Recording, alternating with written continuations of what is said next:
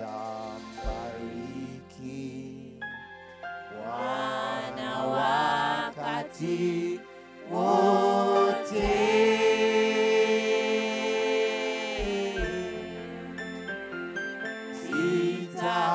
sitaacha kuzitamka sifa zake.